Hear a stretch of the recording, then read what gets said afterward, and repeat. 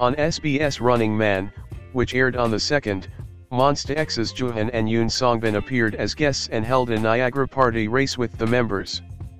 On this day's broadcast, Yoon Songbin played a pushing game with Kim Jongkook, Yoo Jae-seok, and Yang Se-chan. The first order was Kim Jongkook, and the two people pushed each other but never fell into the icy water, drawing admiration. Then, it became more and more overheated. Kim Jong-kook endured for quite a long time by exchanging strength with Yoon Sung-bin.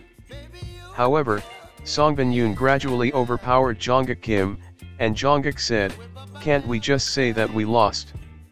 Yoo Jae-seok was surprised, saying, it's the first time I've seen, Kim Jongkook, pushed by force. Kim Jongkook also said with a puzzled expression, I've never been pushed by Kang Ho-dong.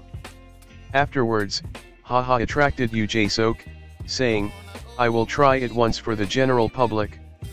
Haha said, it won't be easy because Jae-seok Hyung also works out a lot. Yang Se-chan said to Yoo Jae-seok, it is meaningless to try 10 times a hundred times, and try the technique you want to do. Yoo Jae-seok touched Yoon Song-bin's arm and asked, why are you exercising so much? Yoon Song-bin, who entered the game in earnest, pushed Yoo Jae-seok with all his might. Yoo Jae-seok fell backwards like a paper doll under Yoon Song-bin's power and fell into the water. The Running Man members who watched this said, then what should we do? Looking at Yoo Jae-seok, who fell into the water and lost shape, Haha and Yang Se-chan laughed at Yoon Song-bin by shouting, Hey, this XX, the national MC of Korea.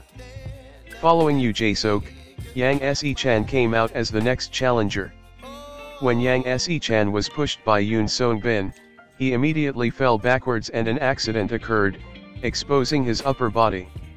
Yang Se-chan said, It's the first time I've lived so humiliatingly that my top has been peeled off, causing the members to laugh.